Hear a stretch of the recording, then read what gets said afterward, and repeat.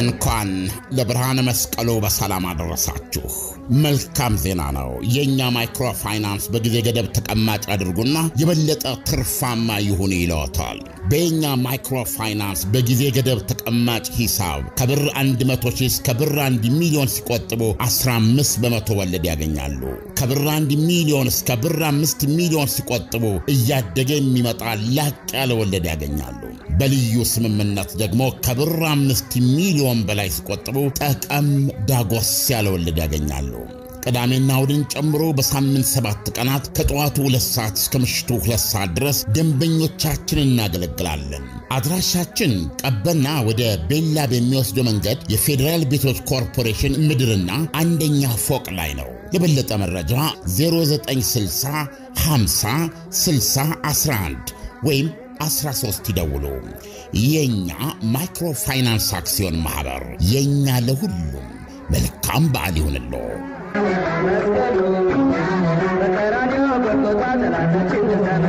ክረምት አልፎ ጎህ ሲቀድ መስከረም ሲጠባ በአዲስ ዓመት በአዲስ ተስፋ ዘመን በዘመን ሲተካ ዘመድ ከዘመዱ ሲጠያየቅ አገሩን የናፍቀው የወንዜው ልጅ ከወደ ባህር ማዶ ሲሰባሰብ እኛ ምሰሶ ተክለን ምሰሶ ሆነን ልናገለግለው ቀርበናል።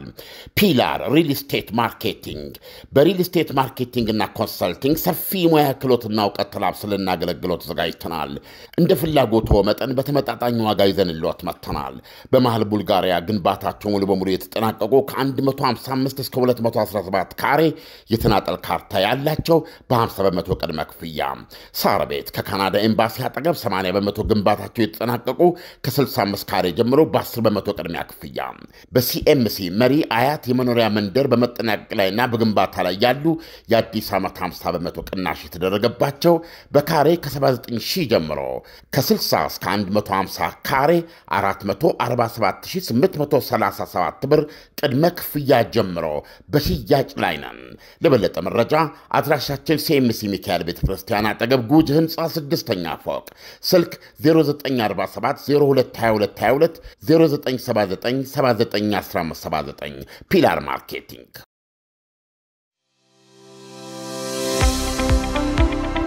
የቤት ባለቤትና ሀብት የመፍጠር ጉዞ በገንዘብ እጥረት ምክንያት ህልም እንዳይቀር የሚያግዝ አለኝታ የመጣ ነው።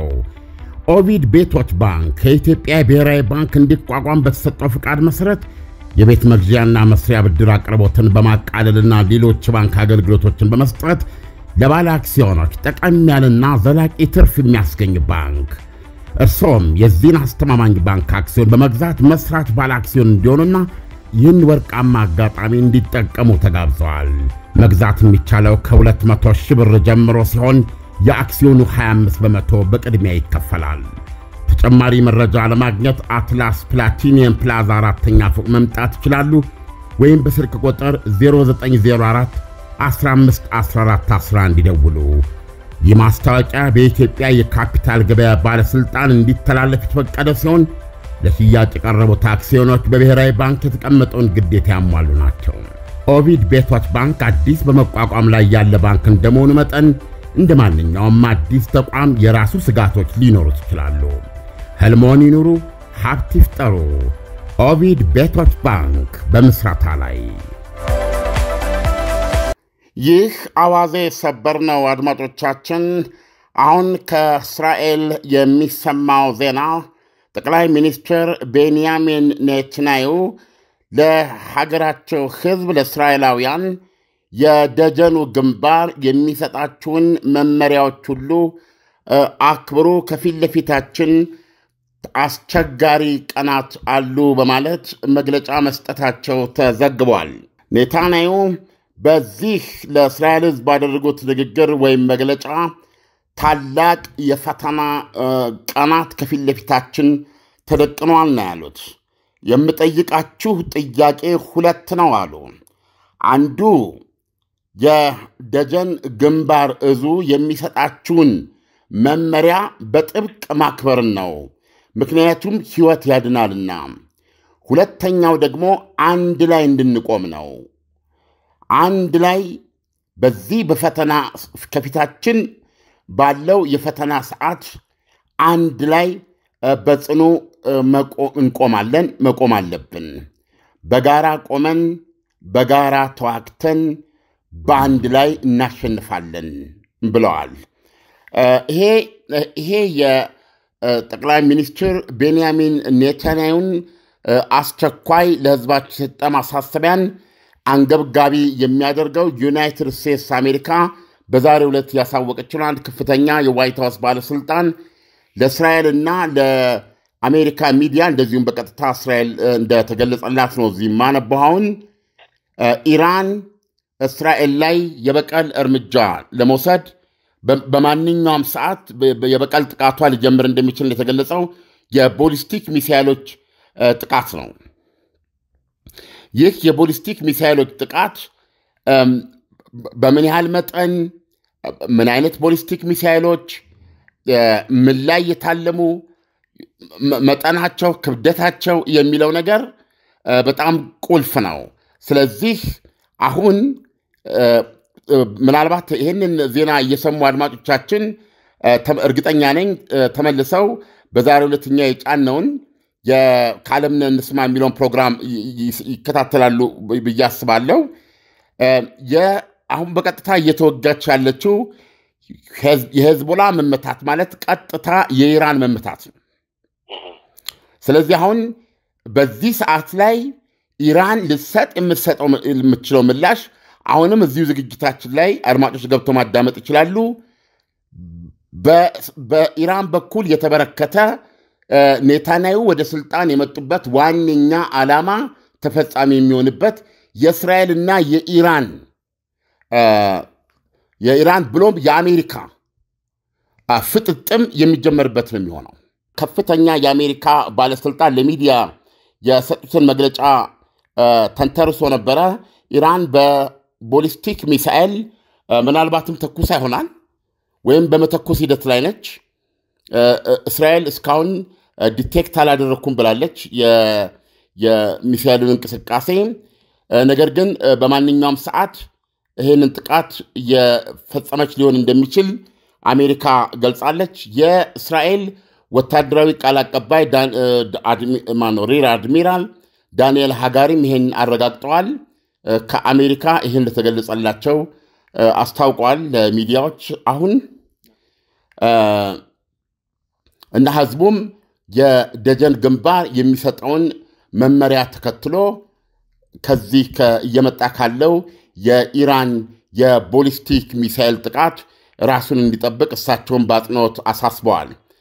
አሁን አሜሪካ የገለጸችው አንደኛና የመጀመሪያው የሚደረገውን የኢራንን የሄዝቦላ የቦሊስቲክ ሚሳይል ጥቃት ማክሸፍ ነው። ከዛ ጋር ተያይዞ ከዚህ ቀደም ተነጋግረናል። ኢራን ጥቃት የምትፈጽም ከሆነና ጥቃት እየፈጸመች መሆኑን በራሷ የደህንነትና የስለላ መንገድ እስራኤል ካረጋገጠች ጥቃቱን ለማክሸፍ የራሷን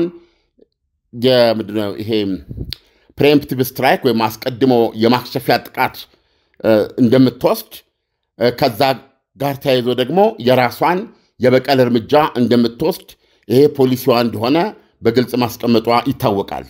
ስለዚህ እንደ ከዚህ ቀደሙ አንድ አይነት ጥቃት ተደርጎ ሌላኛው ደግሞ እንደዚሁ ጊዜ ፈጅቶ የራሱን የተወሰነ መልሶ ጥቃት የሚያደርግበት ሳይሆን ነገሮች ሊቀጣጠሉና አንዱ ሌላውን ባለና በሌለ ኃይሉ ማጥቃት የሚገደድበት ሁኔታ ውስጥ ነው አሁን ያሉት። ከአሁን ቀደም እስራኤል እንደ አቋም ያሳወቀችው ኢራን በማንኛውም ሰዓትና ጊዜ ምንም አይነት ትንኮሳ ብታደርግ እስራኤል በቀጥታ ጦርነቱ እንደታወጀ በመቁጠር ወደ ጦርነት እንደምትገባ ገልጻ ነበር እና አሁን ኢራን በዚህ ሁኔታ ጥቃት የምትፈጽም ከሆነ ከአሁን በፊት በተገባው ቃል መሰረት ጦርነቱ ወዲያው ይቀጥላል ወይ ነው ወይስ ከአሁን በፊት እንግዲህ እንደምታውቀው አሜሪካና ረዳት ሀገሮች እንደዚሁ ኢራን በምትተኩስበት ጊዜ መከላከል ካደረጉ በኋላ አጸፌታዊ መልስ እስራኤል እንዳትመልስ በተደጋጋሚ በማስጠንቀቅ ወይም ደግሞ በመነጋገር እስራኤል ሳትተኩስ ቀርታለች። አሁን የዛ አይነት እድል ይኖራሉ ወይ ወይስ በቀጥታ ወደ ጦርነት ይገባሉ? ይሄ ምንም already ጦርነት ላይ ናቸው። ሄዝቦላ ላይ በእስራኤልና በሄዝቦላ መካከል እየተደረገ ያለው ጦርነት ኢራን ላይ የሚደረግ ጦርነትም ነው ብለናል። እስካሁንም ኢራን በትክክለኛው ሰዓት ባለመግባቷ ምናልባት ሄዝቦላን የማዳን እድሏን አታ ሊሆን ይችላል። ወይም ደግሞ ምንም አማራጭ የላትም። ምናልባት አሁን የእኛም ፕሮግራም ከዚህ ዜና በፊት የጫን ነው የእኛን የውይይት ፕሮግራም የሚያዳምጡ ሰዎች የተሻለ ግንዛቤ ያገኛሉ። እና አሁን ሄዝቦላ የተመታበት መንገድ በጣም በአይነቱም በመጠኑም የከበደና በጣም የተወሳሰበ ሌሎችም አሁን በዘገባ የምናቀርባቸው ብዙ አይነት እርምጃዎች እንደተወሰዱ ነው አሁን የምናውቀው። ስለዚህ አሁን ሄዝቦላ ለኢራን ዋናው የግንባር ጦር ነው። የእስራኤልን ድንበር ታኮ እስራኤልን ሊፋለምላት የሚችል ለመፋለም የሚያስችለው ቦታ ላይ እሷን ወክሎ የተቀመጠ ኃይል ማለት ነው። አሁን በዚህ በሰሞኑ ጥቃት ሄዝቦላ ኢብን ናስራላን ጭምር ነው ያጣው። ስለዚህ አሁን ኢራኖች ይህን እርምጃ ሲወስዱ ይህን የበቀል እርምጃ ሲወስዱ አለመውሰድ አይችሉም አለመውሰድ አይችሉም። ምክንያቱም ለሄዝቦላ ያልደረሱለት ለማን ይደርሳሉ ተብሎ ሊታመንባቸው ይችላል። ከዚህ በኋላ የትኛው የተጋትሮ ተራዳ seriously እንደ አንድ የ power ምንጭ አድርጎ ሊወስዳቸው ይችላል። ራሳቸውን ፈተና ውስጥ ነው የገቡት። አሁን እንደምንረዳው ግን ያበጠው ይፈንዳ ብለው ምላሽ ለመስጠት ወስነዋል ማለት ነው። ይሄን ምላሽ ተከትሎ እነሱ በዚህ ቦሊስቲክ ሚሳይል የሚያልሙት ምንድን ነው? በዚህ ቦሊስቲክ ሚሳይል የእስራኤልን ብዙ ሊመቱ የሚችሉ ኢላማዎች አሏት። የተለያዩ ወታደራዊ ብልቶች አሉ ሊመቱ የሚችሉ እነሱ ላይ ሊያልሙ ይችላሉ። እስራኤል ዲሞና ላይ የኒውክሌር ሪያክተሮች አሏት። ብዙ ኢላማዎች አሉ። plus ራሱ ከቻሉ ማለት ነው ከቻሉ የሚሆን ከሆነ የእስራኤል leadership ራሱ ኢላማ ነው። አየ አሁን ኢራኖች የሚያደርጉት በቀል በምን መልኩ ነው ነው እንደ አደረጉ ለመባል ነው ወይስ ይሄ አሁን የሚወስዱት እርምጃ የአሜሪካንንም የእስራኤልንም የጋራ ክንድ ሊያስነሳባቸው እንደሚችል አምነውና ቆርጠው የሚያደርጉት ነው ነው። ምክንያቱም በዚህ ሰዓት ላይ ሄዝቦላ ማን ነው ኢራን እስራኤል ላይ ተኩሳ ቤንያሚን ኔታንያዩ ሌላ ከዚህ የተሻለ የጦርነት አጋጣሚ አይኖራቸው። ይሄ ነው በኢራን በአጠቃላይ እዛ ላይ የታሰረው ይሄ ቋጠሮ ያልኩ ነገር የሚፈታው አጠቃላይ መፍትሄ የሚመጣው ፍልሚያው በኢራን እና በእስራኤል መካከል ሲደረግ፣ ስለዚህ አሁን ይሄንን ሁኔታ ሊያፈነዳው የሚችለው ማንኛውም የኢራን ምላሽ ነበር የሚሆነው። ስለዚህ አሁን ያን ምላሽ ኢራን እየሰጠች መሆኑን አውቀናል። ኢራን ቦሊስቲክ ሚሳይሎች እየተኮሰች ነው። ምን ያህል ቦሊስቲክ ሚሳይሎች ምን ላይ የታለሙ ልብ አድርግ። ባለፈው ሶስት መቶ ነው የተኮሰችው። ገብተዋል። አሁን ስንት ልተኮስ ትችላለች? ምን ያህሉንስ እስራኤል ከአጋሮች ሀገሯን ልታክሽፈው ትችላለች? ምን ያህሉ አልፎ ሊገባ ይችላል? አልፎ ገብቶ ምን አይነት ጉዳት ሊያደርስ ይችላል? እነዚህ ነገሮች ግምት ውስጥ ታስገባለህ። ስለዚህ በግልጽ ቋንቋ በማያሻማ ቃል መናገር የሚቻለው እስራኤልም ማነው የአሜሪካም ያለችው ምንድን ነው? ኢራን ከፍተኛ ዋጋ ትከፍላለች ነው በዚህ የበቀል እርምጃዋ እና ያለ ሁኔታ ይሄ ነው። ሊያስጥሉት ሊያስቆሙት የሞከሩት የተጣጣሩለት የመካከለኛው ምስራቅ የለየለት ፍልሚያ አሁን ከገደሉ ወደ ገደሉ ውስጥ እየገቡ መሆኑን ማሳያ ነው። እና ቤንያሚን ኔታንያሁ ለአገሬው ራሳችሁን ጠብቁ፣ የደጀን ግንባሩ የሚሰጣችሁን ትዕዛዝ እና መመሪያ አዳምጡ፣ አትውጡ ሲባል አትውጡ፣ ግቡ ይህን ተከትላችሁ ማድረግ አለባችሁ፣ ህይወት ያድናል። ከዛ በተረፈ ደግሞ በዚህ ፈታኝ ከፊት ለፊታችን በሚኖር ፈታኝ ቀናት ውስጥ እንዳንፈታ እንደ ህዝብ አንድ ሆነን ጸንተን መጋፈጥ፣ አንድ ላይ ሆነን ማሸነፍ እንችላለን የሚል መልእክትን ያስተላለፉት ኢሳያስ አለም እንግዲህ እስራኤል ከመጀመሪያው ጊዜ ጀምሮ ማለት ይቻላል ከኦክቶበር ሰባት ጦርነቱ እስራኤል ላይ ጥቃት ከተፈጸመበት ጊዜ በኋላ አንስቶ እስራኤል በተደጋጋሚ ታደርግ የነበረው ነገር ደረጃ በደረጃ እቅዶቿን እያስፈጸመች ነው የመጣችው ማለት ይቻላል። መጀመሪያ ከሐማስ ጋር የነበረው ግጭት እጅግ በጣም ከፍተኛ እንደነበረ እና ሐማስም ደግሞ ወደ የእግረኛ ጦርነት እስራኤል ከጀመረች ወደማትወጣው ከፍተኛ የሆነ ኪሳራ እንደምትወድቅ ሐማስ በጣም በተደጋጋሚ ሲናገር ነበረ። ሲቀጥል እንግዲህ የሁቲ አማጽያን ጋም ደግሞ ስትሄድ እዛም ጋር ደግሞ ከፍተኛ የሆነ ማስጠንቀቂያና ደግሞ በተደጋጋሚ የሮኬት ውንጨፋዎች ሲያካሂዱ ነበረ። የሁቲዎችን እስራኤል በታለመና በታቀደ መንገድ መታለች። አሁን የሁቲዎች ድምፅ እንደ በፊቱ አይሰማም። አሁን የሐማስ ድምፅ እንደ በፊቱ አይሰማም። አሁን ደግሞ ወደ ሂዝቦላ መጣች። አሁን ደረጃ በደረጃ እየመጣች ስትሄድ አሁን ወደ ዋናው ወደ ምንጩ እየቀረበች አይደለም ወይ? ይሄ ነገር ደግሞ እንደ ሀገር ሲታሰብ አንድ ሉዓላዊት ሀገር የረጅም ጊዜ ስትራቴጂ፣ እቅድ፣ ፕላን ይዘው ነው የሚንቀሳቀሱት እና ኢራን ክንፎቿ እየተቆረጡ ሲመጡ በዝምታ እስካሁን እንዴት ልትቆይ ቻለች? እንዴት react አላደረገችም? ከዚህ በኋላ ደግሞ የእስራኤልን ምት የምትቋቋምባቸው ሁኔታዎች ሊፈጠሩ ይችላሉ ወይ? አጋሮቿ እየተከረከሙ ስለሄዱ ማለት ነው። October ሰባት ያ ጥቃት እስካሁን ባነበብኩት እስካሁን በምረዳው ኢራንን ለማመን የምትገደድበት ነው። ኢራንንም ሄዝቦላንም ያ purely የያህያ የሐማስ ጥቃት ነው ተብሎ መወሰድ ይችላል። ጥቃቱን ደግፈዋል ሄዝቦላና ኢራን።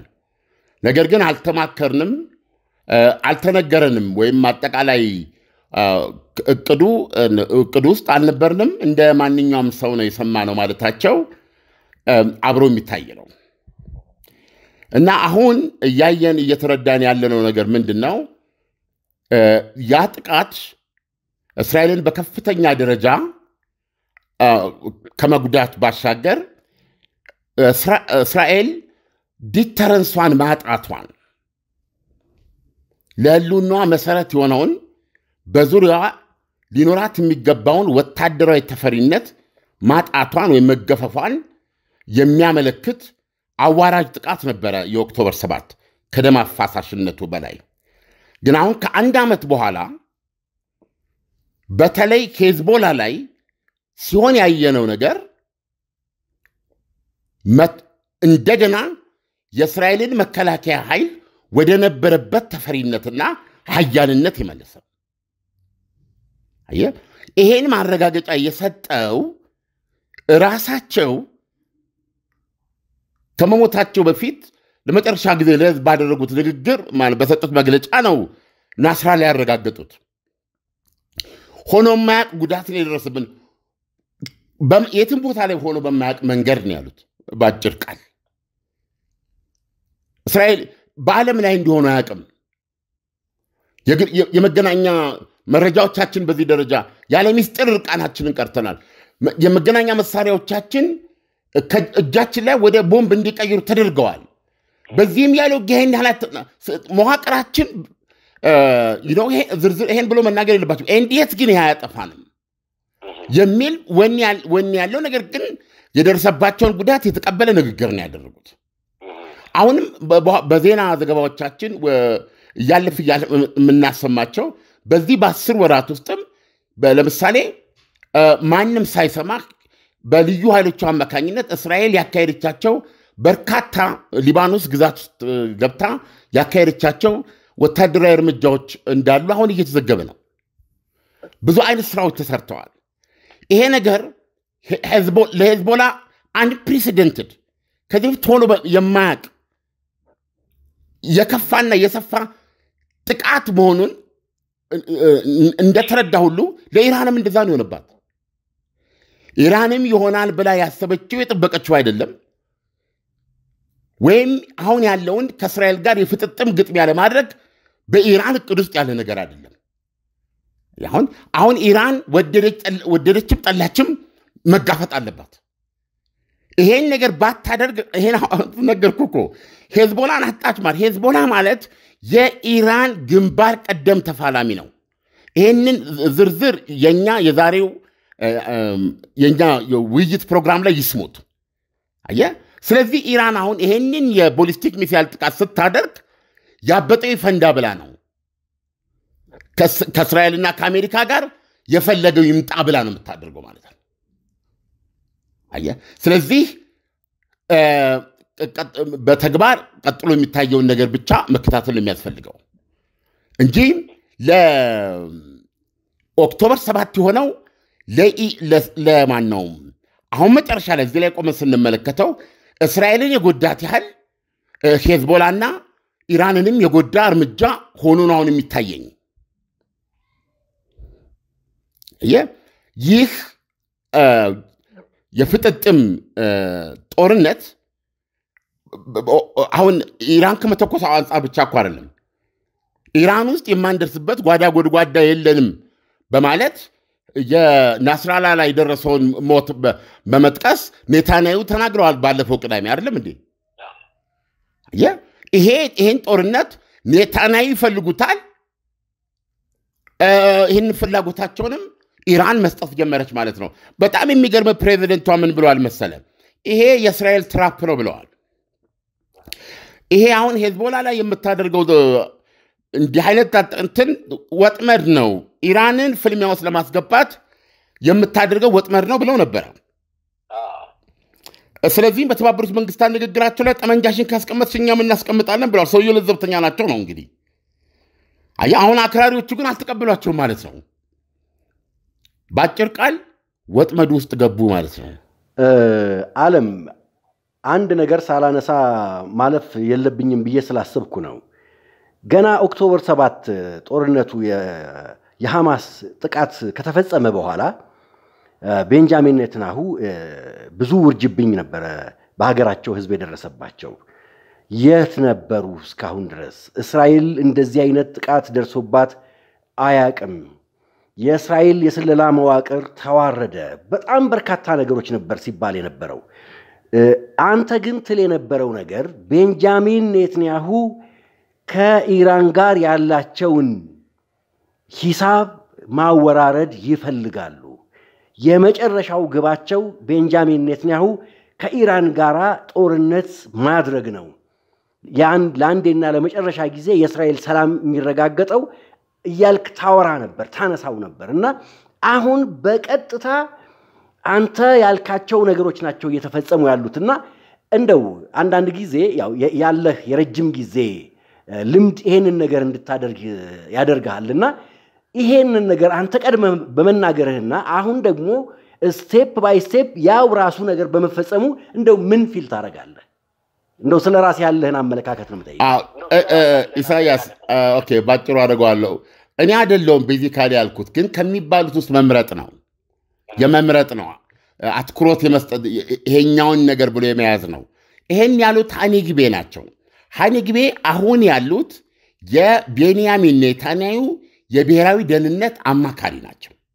አየህ እኚህ ሰውዬ ለዛ ሚዲያ የ October ሰባት ጥቃት ከመከፈቱ በፊት ኔታንያሁ ወደ ስልጣን ለመምጣት ምርጫ ለመወዳደር በጀመሩበት ምርጫ ድጋፍ ማሰባሰብ በጀመሩበት ወቅት ነበር የተጠየቁት። ያን ጊዜ እሳቸው እንደ ማንም እስራኤላዊ የቀድሞ ባለስልጣን ናቸው። ገና ኔታንያሁ ያሸንፉ አይሸንፉ የሚታወቅ ነገር የለም። ያኔ ነው ጋዜጠኛው የጠየቃቸውና እንደ እኚህ ሰው የሰባ አራት ዓመታቸው ነው።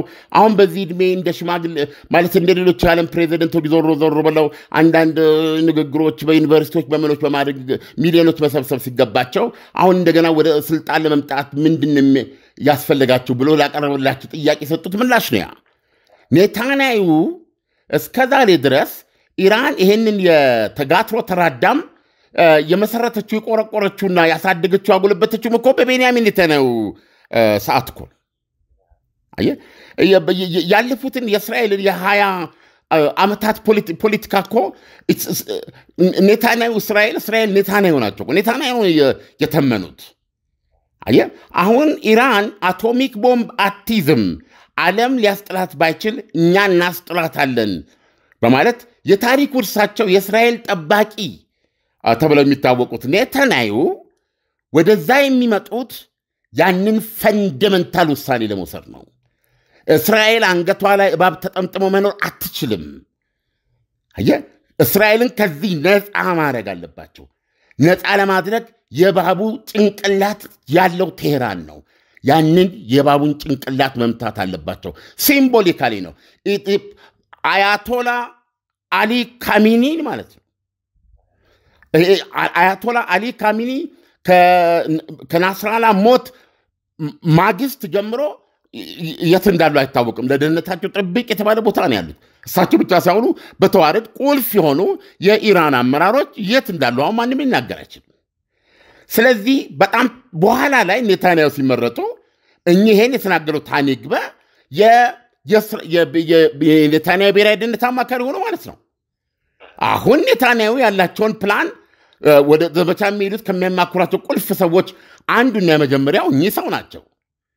መጠራጠር አልችልም። እዛ ላይ ነው ያተኮርኩት ማለት ብዙ ነገሮች ከተለያዩ ወገን ቢሰጡም ይሄኛው ለእኔ በጣም ጠንካራና የሚያሳምን ነበር። ቅድም እንዳነሳው ነገሮች እኚህ የብሔራዊ ደህንነት አማካሪ ሀንግበ የተናገሩት ነው የሆነው። ዛሬ ማን ነው ኢራን ልታካሄድ በምትችለው የቦሊስቲክ ሚሳኤል ጥቃት መነሻነት እስራኤልና ኢራን እንደዚሁም አሜሪካ ይፋ ጦርነት ውስጥ ይገባሉ ብዬ መናገር እችላለሁ። አለም ለትንታኔው በጣም አመሰግናለሁ። አሁን ገና እንግዲህ ጊዜው ገና ነው። ስለዚህ ወደ ማታ አካባቢ ድጋሚ ልንገናኝ እንችላለን ብዬ አስባለሁ። መልካም ምሽት ይሆንልን። መልካም ምሽት ኢሳያስ። ክረምት አልፎ ክረምት አልፎ ጎህ ሲቀድ መስከረም ሲጠባ በአዲስ ዓመት በአዲስ ተስፋ ዘመን በዘመን ሲተካ ዘመድ ከዘመዱ ሲጠያየቅ አገሩን የናፈቀው የወንዜው ልጅ ከወደ ባህር ማዶ ሲሰባሰብ እኛ ምሰሶ ተክለን ምሰሶ ሆነን ልናገለግለው ቀርበናል። Pillar Real Estate Marketing በ real estate marketing እና consulting ሰፊ ሙያ ክህሎትና እውቀት ተላብሰን ልናገለግለው ተዘጋጅተናል። እንደ ፍላጎቶ መጠን በተመጣጣኝ ዋጋ ይዘንልዎት መጥተናል። በመሃል ቡልጋሪያ ግንባታቸው ሙሉ በሙሉ የተጠናቀቁ ከ155 እስከ 217 ካሬ የተናጠል ካርታ ያላቸው በ50 በመቶ ቅድመ ክፍያ። ሳር ቤት ከካናዳ ኤምባሲ አጠገብ 80 በመቶ ግንባታቸው የተጠናቀቁ ከ65 ካሬ ጀምሮ በ10 በመቶ ቅድሚያ ክፍያ። በሲኤምሲ መሪ አያት የመኖሪያ መንደር በመጠናቀቅ ላይና በግንባታ ላይ ያሉ የአዲስ ዓመት 50 በመቶ ቅናሽ የተደረገባቸው በካሬ ከ79 ሺህ ጀምሮ ከ60 እስከ 150 ካሬ 447837 ብር ቅድመ ክፍያ ጀምሮ በሽያጭ ላይ ነን። ለበለጠ መረጃ አድራሻችን CMC ሚካኤል ቤተ ክርስቲያን አጠገብ ጉጅ ህንፃ ስድስተኛ ፎቅ፣ ስልክ 0947022222 0979791579 Pillar Marketing። እንኳን ለብርሃነ መስቀሉ በሰላም አደረሳችሁ። መልካም ዜና ነው። የእኛ ማይክሮ ፋይናንስ በጊዜ ገደብ ተቀማጭ አድርጉና የበለጠ ትርፋማ ይሁን ይለዎታል። በየኛ ማይክሮ ፋይናንስ በጊዜ ገደብ ተቀማጭ ሂሳብ ከብር 100 ሺህ እስከ ብር 1 ሚሊዮን ሲቆጥቡ 15 በመቶ ወለድ ያገኛሉ። ከብር 1 ሚሊዮን እስከ ብር 5 ሚሊዮን ሲቆጥቡ እያደገ የሚመጣ ላቅ ያለ ወለድ ያገኛሉ። በልዩ ስምምነት ደግሞ ከብር 5 ሚሊዮን በላይ ሲቆጥቡ ጠቀም ዳጎስ ያለ ወለድ ያገኛሉ። ቅዳሜና እሁድን ጨምሮ በሳምንት ሰባት ቀናት ከጠዋቱ ሁለት ሰዓት እስከ ምሽቱ ሁለት ሰዓት ድረስ ደንበኞቻችን እናገለግላለን። አድራሻችን ቀበና ወደ ቤላ በሚወስደው መንገድ የፌዴራል ቤቶች ኮርፖሬሽን ምድርና አንደኛ ፎቅ ላይ ነው። የበለጠ መረጃ 0960 50 60 11 ወይም 13 ይደውሉ። የእኛ ማይክሮፋይናንስ አክሲዮን ማኅበር የእኛ ለሁሉም መልካም በዓል ይሁንሎ።